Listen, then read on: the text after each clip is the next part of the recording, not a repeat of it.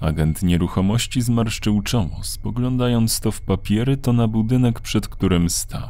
Była to ogromna hala, w której niegdyś mieściła się fabryka obuwia. Część szyb została wybita przez chuliganów, drzwi dawno ktoś wyłamał. Sprawiało to koszmarne wrażenie i agent poczuł przemożną chęć powrotu do samochodu. Zastanawiał się, dlaczego do tej pory nie miał żadnego pojęcia o tym miejscu. Przecież powinno znajdować się w ofertach biura. Tymczasem dopiero dzień wcześniej dowiedział się, że istnieje. Klient pojawił się również dzień wcześniej, a teraz był spóźniony blisko kwadrans. Spojrzał nerwowo na zegarek. Cześć! Rozległ się melodyjny głos, a Tomek zobaczył, że biegnie do niego kobieta w czerwonej, ołówkowej spódnicy i równie krwistym żakiecie. Dzień dobry, odpowiedział i poprawił okulary. Czy możemy już zaczynać? Tak, tak, oczywiście. Potrząsnęła potakująco blond czupryną. Przepraszam za spóźnienie. Nazywam się Wanda Szczepańska, a pan to Tomek Nowak. Zgadza się. Przybrał profesjonalny uśmiech. Zapraszam. Ruszył przodem, ona za nim, postukując obcasami. Była całkiem niebrzydka, jak stwierdził, mierząc ją kątem oka, jednak zbyt wyzywająca jak na jego gust. Może jednak zaprosi ją na drinka, gdy zakończą transakcję. Omijając stertę śmieci piętrzących się obok, weszli do środka. Musiały się tu odbywać świetne imprezy. Wszędzie walały się puszki po piwie i szkło z rozbitych butelek, które chrzęściło im pod butami. Ściany w większości były pomazane przez niezbyt ambitnych graficiarzy, z innych płotami odchodziła farba. Pod stropem wisiały nagie żarówki. Póki co prądu nie ma, powiedział, a echo poniosło jego słowa. Nic nie szkodzi, zaśmiała się Wanda. Bardzo mi się tu podoba. Można w tej sali zrobić bardzo przyjemny lokal, nie sądzi pan? Taki industrialny. Industrialny? O, a tam będzie bar. Wskazała palcem w nieokreślonym kierunku. Nie miał w zwyczaju pozbawiać klientów złudzeń. Liczyła się przede wszystkim prowizja, jednak gdyby ktoś go zapytał, odradzałby tą inwestycję, która pochłonąć mogłaby tonę szmalu. Sam nigdy nie odważyłby się na takie zagranie, lecz jego klientka była bardzo pewna swego, więc poprowadził ją dalej, pokazując dawne biura, w których prócz połamanych biurek i krzeseł walały się pety. Także pliki pospinanych razem kartek, których treść dawno wyblakła. Ślicznie, powiedziała i po chwili zapytała żwawo: A macie tutaj piwnicę? Sekundkę. Spojrzał do teczki, by przyjrzeć się informacjom udostępnionym przez biuro. Tak, zgadza się. Pod całym budynkiem znajduje się piwnica. A mogę zobaczyć? Westchnął, skinął głową i wyjął z kieszeni latarkę. Zapowiadał się taki miły dzień. Tymczasem ta kobieta planowała go ciągać po całym obiekcie. Podejrzewał, że w piwnicy będzie pełno szczurów i pająków. Prowizja, prowizja, myśl o prowizji. Myślał schodząc po ciemnych schodach, kiedy coś wyrwało się spod jego stóp, piszcząc przy tym przeraźliwie. Wrzasnął i upuścił latarkę, która poturlała się kilka stopni niżej. Ojej, ależ pan strachliwy! Mruknęła, przyciskając się obok niego tak, że otarła się o jego tors wydatnym biustem. Poszła przodem. Pomyślał, że jeśli coś czai się w mroku, to dorwie najpierw ją. Zniknęła za zakrętem, po czym usłyszał, że coś przesuwa. Zbiegł do niej i zauważył, że uwija się obok jakiegoś stołu. Co pani robi? Tu jest agregat, zawołała radośnie. Może uda mi się go uruchomić. Miał już na końcu języka, że prędzej zostanie porażona prądem, gdy rozległo się miarowe buczenie, a rozświetlił rząd jarzeniówek. Kilka z nich mrugało, inne były spalone, lecz te, które świeciły, dawały wystarczająco dużo światła, by można było zgasić latarkę. Wanda zerknęła na niego z nieukrywaną dumą. Potrafi pani coś jeszcze? Zapytał, przyglądając się z nieufnością. Stepować, piec ciasta, robić na drutach? Odpowiedziała. Za to zawsze przypalam pieczeń. Westchnął i usiadł na plastikowym krześle, które jako jedyne ostało się całe. Tymczasem ona wędrowała po sali, mrucząc do siebie. Skądś wyjęła miarę. Zapewne z fikuśnej torebki w kształcie kwiatka, którą miała na ramieniu i teraz mierzyła powierzchnię piwnicy. Ile pan za to chce?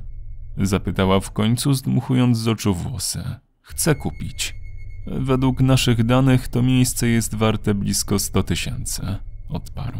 Dam 70. 100. 80? Niech będzie. Biorę. Podała mu do uściśnięcia drobną rączkę, a uścisk miała mocny jak drwal. Nie spodziewał się tego po takiej małej kobietce. Remont dobiegał końca. Tymczasem Wanda dzień w dzień przyjeżdżała czerwonym Seicento pod fabrykę. Miała już spójny obraz całości, a robotnicy doskonale realizowali jej najdziksze fantazje.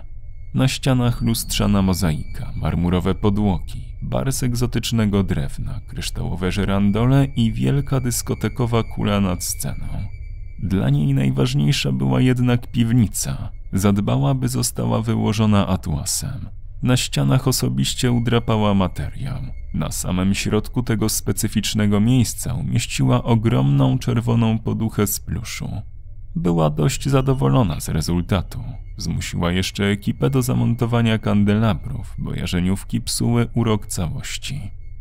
Kilka nocy później podjechała pod budynek z dezelowanym żukiem. Wyskoczyła z szoferki i otworzyła drugie drzwi, by wypuścić swojego pasażera, który łypnął na nią żółtym ślepiem. Wysiadaj, Romuś, rzuciła. Nie wysiądę, burknął. Wysiadaj po krako. Pociągnęła go za okon. Ty mnie już wcale nie kochasz, kobieto. Zawył, po czym rozłożył szponiaste skrzydła, machnął nimi i już siedział na ziemi. Romuś rósł jak na drożdżach. Od ostatniej przeprowadzki przybyło mu jakieś pół metra. Zauważyła też, że na gadziej łepetynie pojawił się zaczątek kroków. Z reguły przeprowadzali się co rok, szukając coraz większych budynków. Z nostalgią pomyślała o czasach, kiedy spotkała go po raz pierwszy. Była wtedy młodym grotołazem, który natrafił na małego smoka ukrytego w głębokiej jaskini. Sięgał jej wtedy do pasa i żywił się głównie szczurami oraz zabłąkanymi wiewiórkami.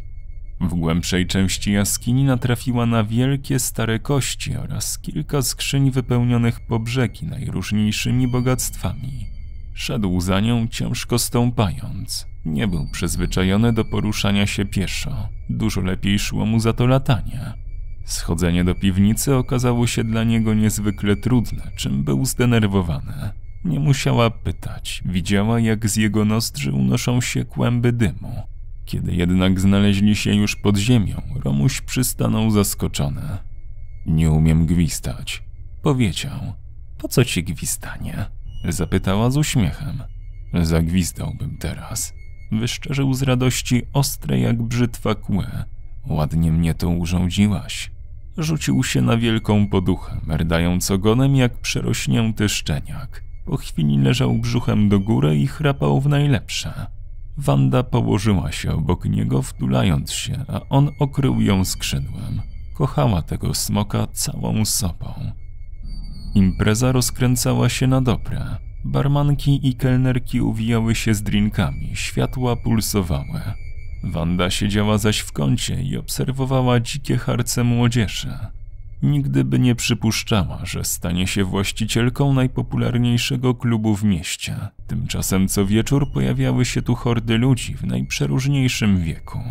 Co chwilę podchodził do niej jakiś pijany koleś, proponując taniec, a może coś więcej. Jednak ona uśmiechała się tylko ironicznie. Jeśli któryś był agresywny lub zbyt natarczywy, wystarczyło, że skinęła na ochroniarza, a ten łapał delikwenta za kołnierz i wyrzucał na zbity pysk. Nie interesował ją potrew. Szukała w tłumie czegoś zupełnie innego. Minęła już druga w nocy. Lokal był wypełniony niemal po brzegi, a ona wciąż nie upatrzyła odpowiedniej kandydatki. Większość z kobiet obecnych w lokalu przyszła z kimś. Gdyby zainteresowała się taką, byłyby kłopoty. Potrzebowała szarej myszki, która pojawiła się w Dragonezie zupełnie sama. Kiedy już myślała, że nic z tego nie wyjdzie, dostrzegła ją. Była szatynką średniego wzrostu, troszkę przy kości, co próbowała ukryć obszerną sukienką sięgającą aż do kolan. Uśmiechała się niepewnie, jakby była w takim miejscu po raz pierwszy i sączyła swojego drinka przez słomkę. Cóż za urocza dziewczynka, pomyślała Wanda, a na jej czerwonych wargach pojawił się uśmiech. Wstała z fotela i ruszyła w jej stronę lekkim krokiem. Cześć! krzyknęła, by przebić się przez dudniącą muzykę. Nie jestem lesbijką, warknęła tamta, a Wanda się roześmiała. Wiem, ja też nie, powiedziała. To mój klub i chcę, byś dobrze się bawiła. Postawię ci drinka. Mała próbowała odmówić, jednak Wanda była nieugięta i stanęła za barem. Mieszając alkohole, dodała do nich malutką pigułkę, która w mgnieniu oka rozpuściła się, pozostawiając swoją gorycz w płynie. Było to niezbędne, by napój zadziałał tak jak trzeba. Przelała zawartość naczynia do wysokiego kieliszka, udekorowała kandyzowaną wisienką oraz różową parasolką, po czym podała dziewczynie, uśmiechając się zachęcająco. Niedługo później ciągnęła za sobą zupełnie naćpaną pannę. Nie opierała się ona wcale, wręcz przeciwnie, ochoczo zgodziła się na zwiedzenie podziemi klubu. Szła na tych swoich zbyt wysokich butach, co i rusz się potykając. Jeszcze kawałek, śliczna, jeszcze kawałek i będziemy na dole. Mruczała jej do ucha Wanda. Kiedy na schodach rozległy się znajome kroki, Romuś podniósł łeb z posłania i przeciągnął się leniwie. Czuł się w tym miejscu szczęśliwy, choć głośna muzyka początkowo działała mu na nerwy. Ważne, że była Wanda, która go głaskała i bawiła się z nim. Teraz czuł, że prowadzi kogoś ze sobą. Z jego gardła wydobył się mruk, a z nozdrzy uniósł się dym. Oblizał łakomie zielone warki. Oby to było coś smakowitego. Dawno nie miał między zębami czegoś, co przyniosłoby mu ukojenie głodu na dłużej. Kiedy weszła, popychając przed sobą dziewczynę, smok jęknął z rozczarowania, a dziewczyna, choć niemal nieprzytomna, krzyknęła na widok wielkiego gada zwiniętego na posłaniu. Coś ty mi przyprowadziła. Warknął. Chcesz, żeby cholesterol mi skoczył? Romuś, co ja ci poradzę? Zaczęła Wanda, trzymając z całych sił wyrywającą się dziewczynę. Romuald, kobieto, nie nazywaj mnie Romuś. Machnął ogonem zniecierpliwiony i przysunął pysk, by móc obwąchać posiłek. To nawet nie jest dziewica. Wanda westchnęła zniecierpliwiona i popatrzyła wyczekująco na smoka. Dobrze wiedział, jak trudno przychodziło jej zdobywanie jedzenia. Wszystko dlatego, że miał wybredny gust. Nie zadowolniłby się baraniną, nawet żywą i beczącą. Musiała być kobieta, najlepiej dziewica. Smok jeszcze przez moment sprawiał wrażenie obrażonego, po czym wywrócił ślepiami i rzekł: Dobrze, mruknął. Wiedz jednak, że jeśli dostanę zawału, to będzie twoja wina. Zostawiam was, rzekła więc Wanda i wyszła z piwnicy, rygulując drzwi. Mimo całej swojej miłości do wielkiego gada, nie chciała patrzeć, jak ten się pożywia. Kiedy był mniejszy, widziała, jak odrywa głowę szczurowi. Wróciła do klubu, gdzie pozwoliła sobie na szybkiego drinka i papierosa. Ramuś? szepnęła Wanda, głaszcząc łeb gata. Tak. Mruknął, otwierając jedno oko i patrząc na nią badawczo. Urosłeś, powiedziała z uśmiechem. Porysowałeś rogami sufit. Znowu chcesz się przeprowadzać, kobieto. Prychnął i obrażony odwrócił się do niej ogonem. Dodane przez Emma Cole. Czytał Quaderotes.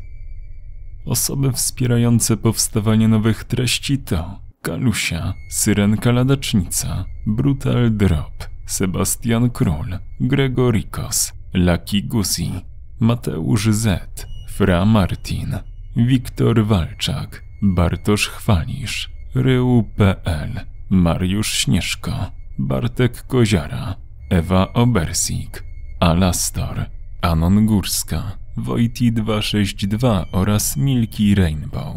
Do usłyszenia.